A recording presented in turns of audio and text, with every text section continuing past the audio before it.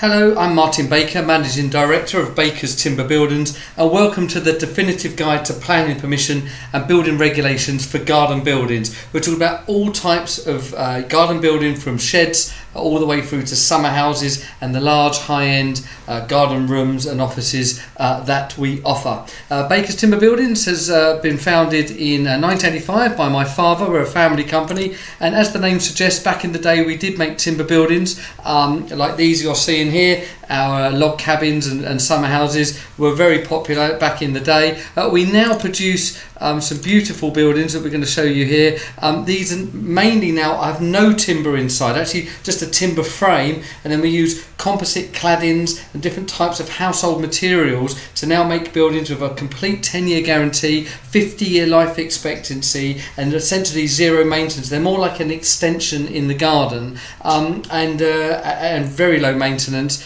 Uh, and we can get this completed in around about three three weeks or so, even with the base electrics as a complete package.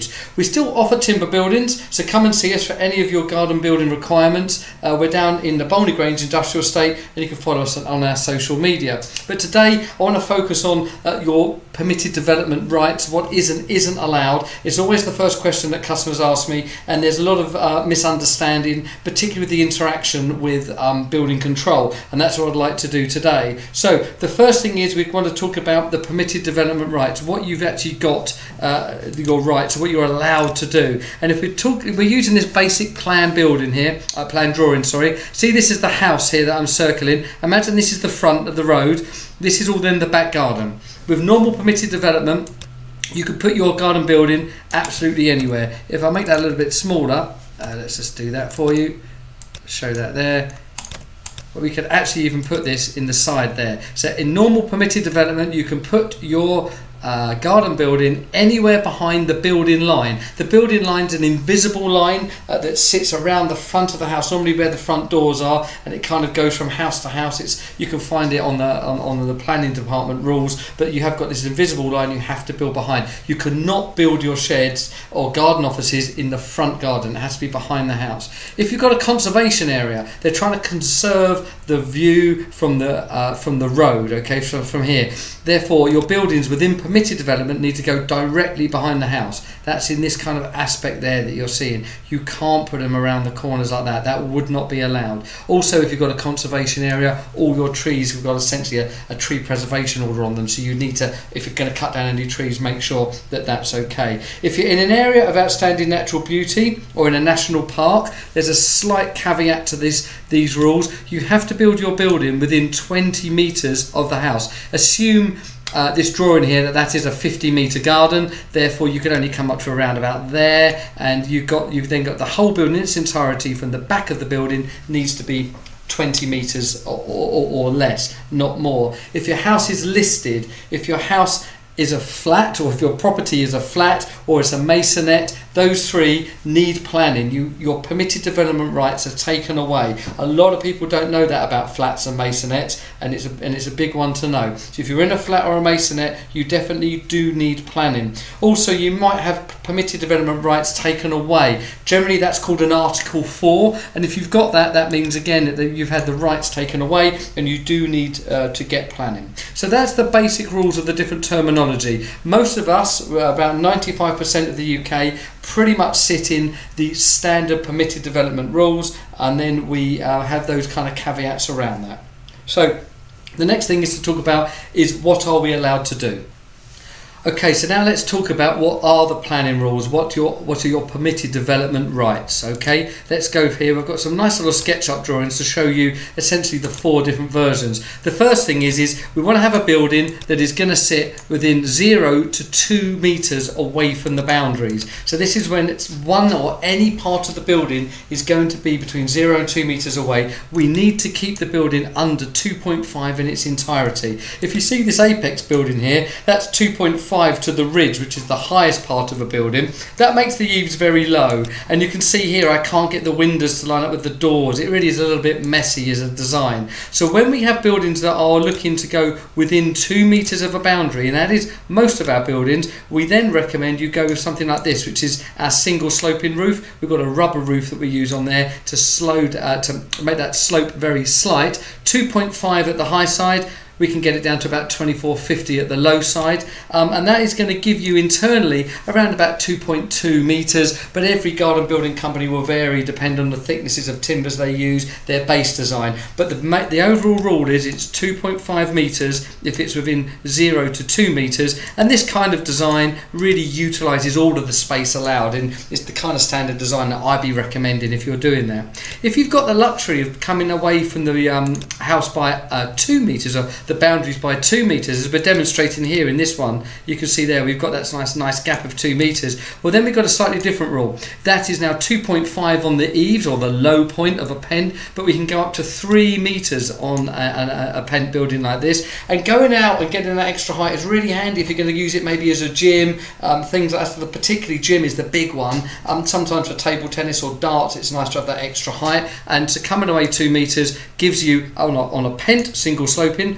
2.5 to 3 and if we go to an apex well then that can be very impressive. 2.5 eaves again so that can't go over 2.5 but you can make the ridge there up to 4 meters high.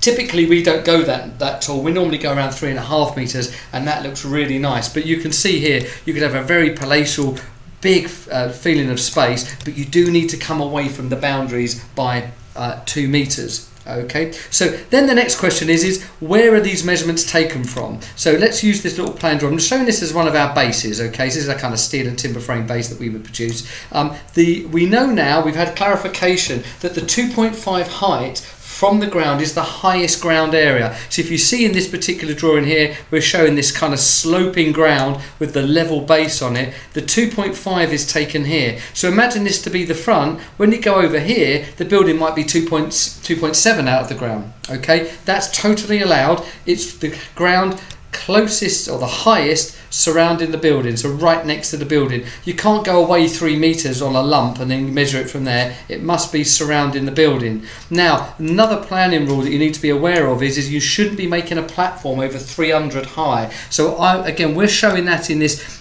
timber frame base that we would use. So we've got a 120 frame, and if we take that into those calculations you see there, we've got about 180 millimeters. So if the if the slope was uh, the ground was sloping around 250 we're not going to be able to create the platform and get it level with the base being above ground. So then you've got to start thinking about either lowering the base and bringing that into the ground um, kind of reducing the height of the building which is again balancing all these different things up um, or applying for planning because of that rule. So that's two things in this drawing that I'm showing you. The first thing is the 2.5 or the 3 metre or 4 metre rule for your building is going to be from the highest ground area, but you should not be making a platform um, over 300 high. If we go back to this plan drawing, the next bit we need to think about is the size of the building. So planning say, you can build a building up to 50% of your garden. So if I use this kind of demonstration here, I'm going to say not even that is 50%. It'd be an enormous building. So planning say you can build a building up to 50% of your garden and you can put it absolutely anywhere, right against the boundaries. There's going to be an interaction that I'm going to talk about in a moment with, with building control, building regulations, which is going to kind of stop you doing some of these elements. But for now, to think about planning, the 50% of the garden is where, where we sit. Okay. Now, the one other thing you need to think about when you're thinking about um, a garden building is how you're going to use it. Planning only allow you to permit, permit these buildings in use for ancillary use to the house, not primary. They cannot be used as bedrooms. Uh, they can't be used technically. They can't be used as your kitchen or your primary lounge. You could have it as a secondary lounge. That's allowed. So things that are allowed, terminology we're allowed to use: summer house, gym, office, Um, those kind of things are fine. Cinema room, you know, any of those usages are fine. But if you're going to use it as a kitchen, a dining room, or particularly a bedroom where you're overnight, that is primary use of the house and not allowed. Some of it's just about terminology, but some of it is about the true use. You shouldn't be staying in these buildings um, overnight. Okay, so that's pretty much got everything done for planning permission. There's one thing I'd like to come back to is you can attach our buildings to the house. So if I rescale that for a moment, and you imagine that you've got at the back of the house, and you want to do you want to do something where we can attach that to the house, that is allowed uh, but you do need planning permission. So we can we can do it, but because of it's a material change, it's not brickwork, it's it, it's new materials. You do need to get planning permission. So we can attach our buildings to the house. Imagine that we could actually do an extension in your property under 30 square meters with planning and get it complete in less than three weeks. So um, there are some pros of using these kind of um, uh, pre-made panels that we're producing here um, to do that. So you can attach to houses, but it does need planning. Now I want to talk about uh, building control and its interaction with what we've just discussed now. Okay, so now let's talk about building regulations or building control. There are some things that are restricting how we can use the building and actually some sizes. So let's talk about those. I'm going to again go to that basic plan drawing to show you the uh, the kind of big ones that get missed a lot. So do you remember that planning say you can build up to 50 percent of your garden and you can put it anywhere. Well, that's okay, but building control come in and say no, no, that's not quite right. You can only build up to 30 square meters in an unregulated building, and, and over that needs to be regulated. A regulated building is essentially a complete house build. So imagine like a small bungalow. That is full structural calculations, proper foundations, the whole works, including building control coming at every element. There aren't many garden building companies, if any, that I'm aware of that can produce those kind of buildings, and the cost is elevated because of the restrictions that building control put on it. So most garden building companies, and particularly us here, are very proud to offer unregulated buildings up to 30 square meters of internal space okay and that means we've got a freedom to do whatever we want put windows where we want and we use regulations just as our go-to kind of uh, recon- reconciler for all the different kind of elements. We do put safety glass in. We try and hit some factors with the insulation and all those kind of things. We use structural calculations for roof and snow loading. Nevertheless, we don't need to. It's just our choice to do that. So you want to be sure when you're going out to the companies and looking at that, it's are they aware of building control and the regulations. So the big ones when we're talking about the building is no bigger than 30 square meters of internal space. So canopies are not included in that. We can go bigger, but internal space. I kind of want to demonstrate this building here. Imagine that's 30 square meters, and this one over here that we're just going to um, show now is 0 to 15 square meters. So let's just imagine that this one here is 15 square meters. Building control say if the building is between 0 and 15, you can go anywhere in your garden. So those rules completely align with uh, planning. If your building is 0 to 30 square metres, and imagine this, this building here I'm moving around is 30, building control say that even needs to be a metre away from all boundaries. Let's place that around there. Okay, we need that metre gap or these walls should be made of a non-combustible material. Now uh, here we can offer products that get around that issue and we are able then to put it, close in there. But you do even need to be a metre away or made of a non-combustible uh, material okay? So those, those are the two things. If you may want uh, more than 15 square metres don't want to go to that cost of a uh, of a regulated building. Then what, what we can do here is we can do two buildings. So if I take this one here let's say I make that 30 square metres as well okay um, I come away a, a, a, bit there. What we then do is we can put a secondary building in. We want a meter gap between the two and then that is then allowed okay? So we could do two buildings. Let's say you wanted a bit of an office and a bit of a games room or maybe a, a large room to enjoy with the family but also a storage shed which we could have combined uh, but that goes over. Let's just separate them out create a gap and therefore you're good to go. So that's one way of kind of working around the rules and keeping within it. Um, now, a couple last things we need to be sure of is any electrics done in any garden building need to be Part P signed off. So you can either do a minor works and a self-certification, um, or, or you need to have a full-blown uh, building control certificate. It depends which way we go. I won't bore you with all the details now, but your electrics need to be Part P. You want that also because you want to insure the building, and you won't be able to have any insurance uh, with, without that on there. Uh, plumbing Plumbing is allowed. People think that it's not allowed, but plumbing is allowed in our rooms. We do a lot of buildings with plumbing, and it's uh, you know it works very nicely. What, what you want to be thinking about with plumbing is is it's not what you're what, what you're putting in the building is what you're doing with the building. So if you put a toilet and a shower in there because you're going to stay in it overnight and live in it, that's not allowed. But if, for instance, you're near a swimming pool and you want to have your shower and toilet um, there for, for after you swim, or if you want a self-contained office so you don't need to go into the house, then toilets and bathrooms, that's all allowed. You can see in this particular one here we've done for an office, we put a little kitchen in, toilet, basin, hot water, all of that is allowed. Um, it's outside of the scope of requiring building regulations or building control to be involved because the building's outside the scope. Um, so that's pretty much everything you need to know about building control and where it meshes uh, with, with, with, planning. So those different things about the sizes of the building and the proximity to the walls, don't just look at planning, you need to understand the building regulations as well.